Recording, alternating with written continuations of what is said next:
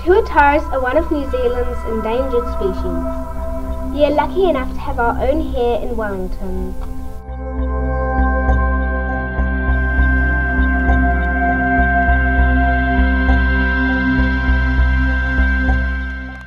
You may think that tuatars are lizards, but they are actually reptiles in their own right.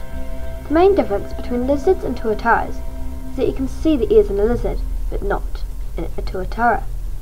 Also, Tuatars are born with a third eye between the other two, but the eye gets covered up when they get older.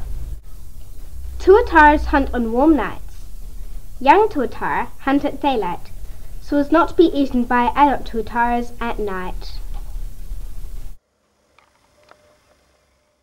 The tuatara population is slowly growing because there used to be only 3,000 left in the 1970s and now there are between 50,000 to 100,000 tuataras living today. The main threat to tuataras was the Polynesian rat, which would dig out the eggs and eat the hatchlings.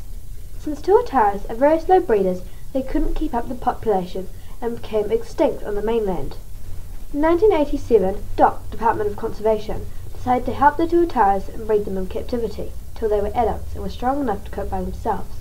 They were then released back into the wild. We spoke to Miss Sue Keall at Victoria University in Wellington. Miss Keall looks after the tuatars at the university. Where do you actually find your eggs?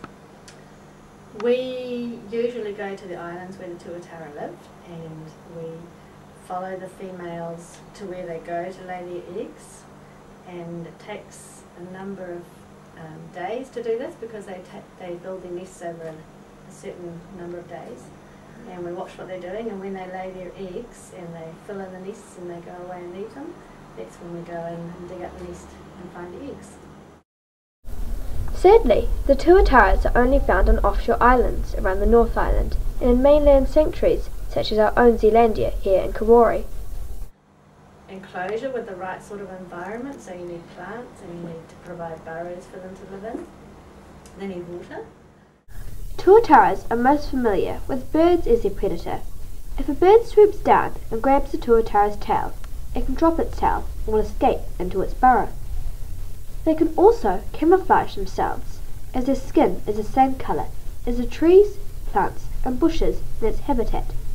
So birds that fly over the tuatara will think it is a branch or a bit of bark. What is something you'd like to find out about the tuatara in the future? Mm. I would love to know how old they can live to. Because lots of people ask that question and we just don't know the answer. We haven't been studying them for long enough. Did you know that tuataras feel very spongy and they have a very painful bite because their teeth are so sharp? They are also very territorial and will be quite aggressive to defend their territory. Here you can see the baby tuataras in their environment at Victoria University.